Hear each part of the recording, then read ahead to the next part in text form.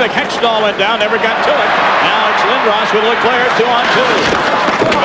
Sent flying by Igor Ulanov. Those two will meet again, I'm sure. Here, these two players have a history.